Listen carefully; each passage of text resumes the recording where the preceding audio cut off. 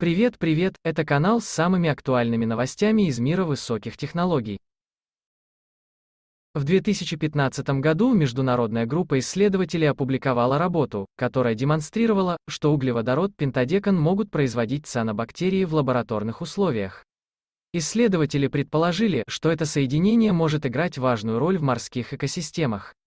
Эта молекула, по-видимому, помогает уменьшить напряжение, которое на мембрану клетки оказывают ее внутренние компоненты.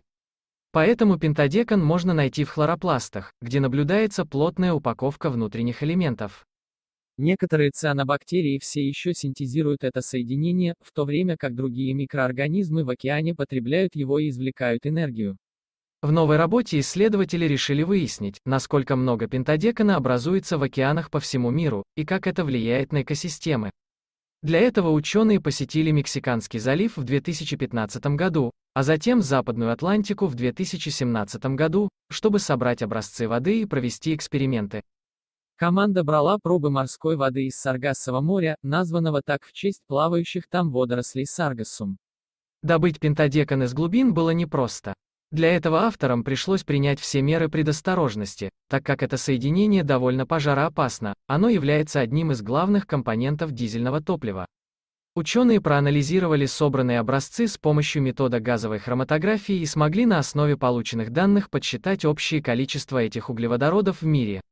Оказалось, что только два вида бактерий в совокупности производят по оценкам от 300 до 600 миллионов метрических тонн пентадекана в год. Все другие источники углеводородов в океане за аналогичное время добавляют в него всего 1,3 миллиона тонн. Несмотря на то, что образование пентадекана наблюдается в районах, охватывающих почти 40% площади Земли, он не накапливается в огромных количествах. В каждый момент времени количество этого вещества в океане не превышает 2 миллиона тонн. Все из-за того, что оно быстро расходуется другими бактериями. Теперь ученые стараются понять, могут ли те же микроорганизмы помочь ликвидировать последствия нефтяных пятен, то и дело создаваемых человеком. Научная работа опубликована в журнале Nature Microbiology.